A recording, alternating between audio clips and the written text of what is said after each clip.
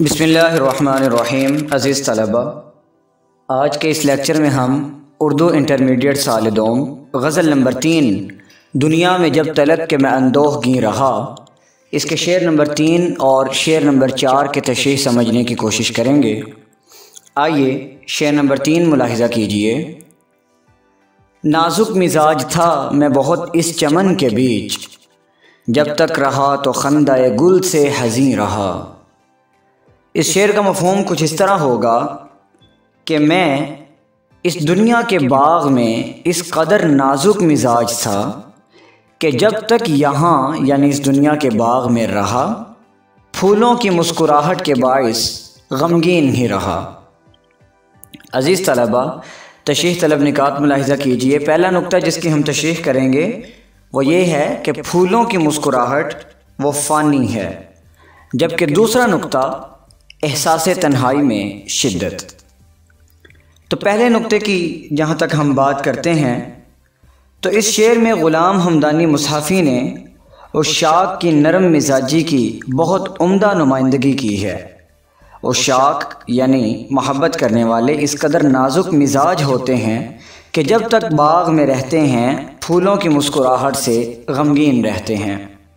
यहाँ सवाल ये पैदा होता है कि फूल तो खुशियों की अलामत हैं। इनका गम से क्या ताल्लुक़ है?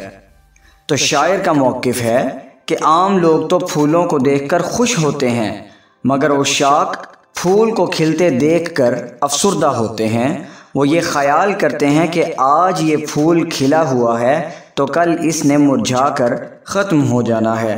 गोया फूल की मुस्कुराहट या फूल का खिलना ये फ़ानी है। बकौल मीर तकी मीर कहा, मैंने गुल को है कितना सबात कली ने यह सुनकर तबस्सुम किया।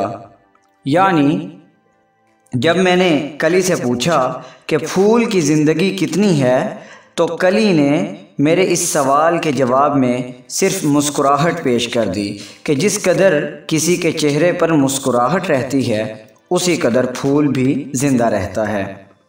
दूसरा नुक्ता एहसास तन्हाई में शिद्दत। तो अज़ीज़ तलबा। एक और तरीके से इस शेर का मफहम यूँ समझा जा सकता है। उससे पहले हमें बुलबुल और गुलाब के फूल और सरू और फाख्ता की मोहब्बत की शेरी रिवायत को पेश नज़र रखना होगा। उर्दू शायरी में बुलबुल को गुलाब के फूल का आशिक जबकि कुमरी या फाख्ता को सरू के पौधे का दीवाना समझा जाता है।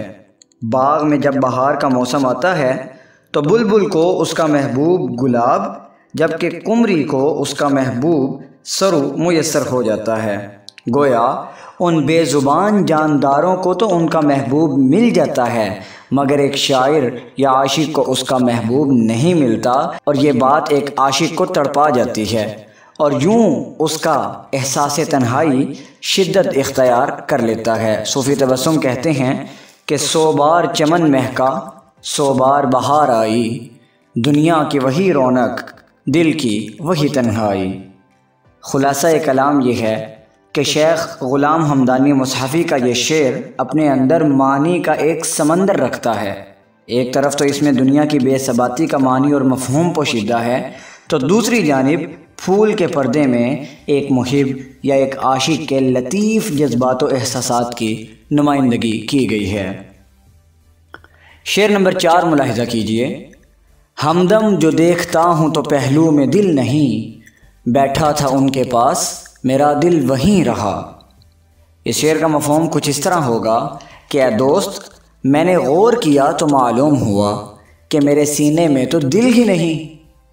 हमदम जो देखता हूँ तो पहलू में दिल नहीं।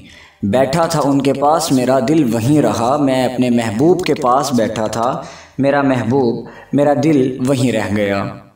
अज़ीज़ तलबा तशरी तलब निकात में लाहिजा कीजिए। पहला नुक्ता जिसकी हम तशरी करेंगे, महबूब का कुर्ब, जबकि दूसरा नुक्ता, दिल इख्तियार से बाहर हो जाता है, या दिल का इख्तियार से बाहर हो जाना हम इस हवाले से तशरी करेंगे।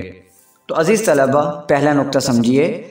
इस शेर में शेख ग़ुलाम हमदानी मुसाफ़ी ने, इश्क मोहब्बत जैसे लतीफ़ जज्बात को एक नए रंग में पेश किया है।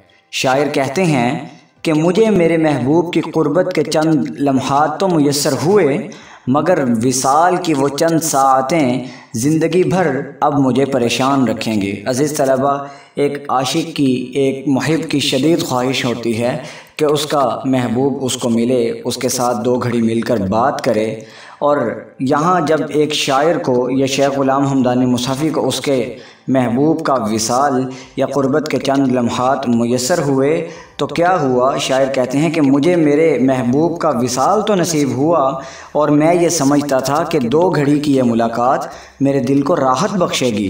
लेकिन यहाँ तो उल्टा नुकसान हो गया कि मेरा दिल मेरे महबूब के पास ही रह गया।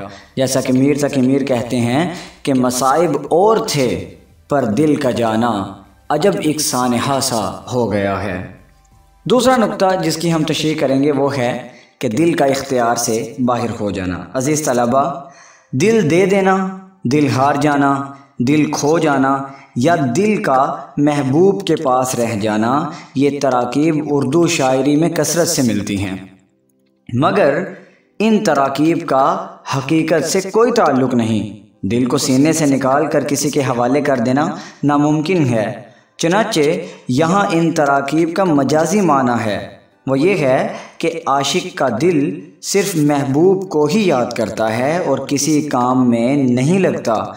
गोया दिल आशिक के इख्तियार से बाहर हो जाता है। इर्द गिर्द कैसी ही रौनक हो। खुशी का समा हो, दिल है कि महबूब को ही याद करता रहता है। बकौल नासिर काजमी नासिर काजमी लिखते हैं कि बरी, भरी दुनिया में जी नहीं लगता, जाने किस चीज़ की कमी है अभी। तो अज़ीज़ तलबा, ख़ुलासा कलाम ये है कि शायर को एक तवील इंतज़ार के बाद अपने महबूब की क़ुरबत मैसर हुई। शायर का ये ख़्याल था कि मेरे बेचैन दिल को अब करार आ जाएगा, मगर इस मुख्तसर सी मुलाकात का उल्टा नुकसान हो गया कि अब दिल शायर के इख्तियार में नहीं रहा। वो हर वक्त महबूब को ही याद करता रहता है और किसी काम में नहीं लगता।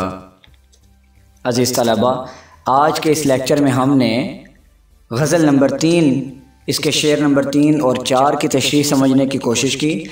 अगले लेक्चर में इन इस गज़ल के बाकी अशार को समझने की कोशिश करेंगे। तब तक के लिए अल्लाह हाफिज़।